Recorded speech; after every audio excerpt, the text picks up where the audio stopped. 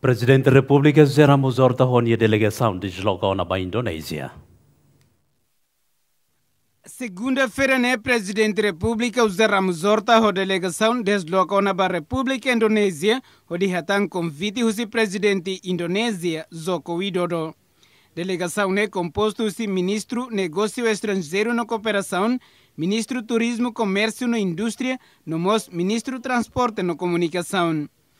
Visita ne aproveita assinamos acordo estratégico entre governo e Rua.